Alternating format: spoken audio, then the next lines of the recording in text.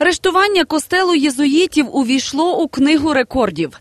Вмонтована в церкву конструкція є найстарішою в Україні. Фахівці припускають, що можливо і у світі. Цей рекорд є першим в номінації архітектура. Рештування встановили 1918 року, щоб закрити отвір в склепінні храму, який пошкодив снаряд.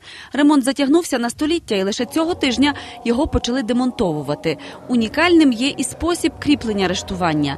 Десятиметрові бруси поєднані чотирьохгранними цвяхами.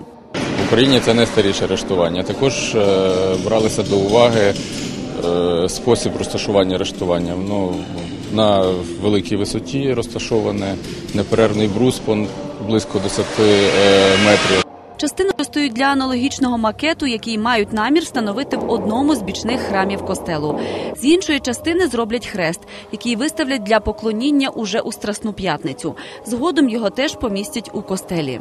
Ми частково е, арештування, тобто використаємо для того, щоб зробити менший макет цього арештування і аналогічний макет. Тобто він буде в нашому храмі в одному з нав храму разом з цим сертифікатом. Другу частину дерева з цього арештування ми використаємо для хреста. Крім того, кілька львівських митців захотіли використати бруси та дошки з рештування як матеріал для своїх мистецьких творів.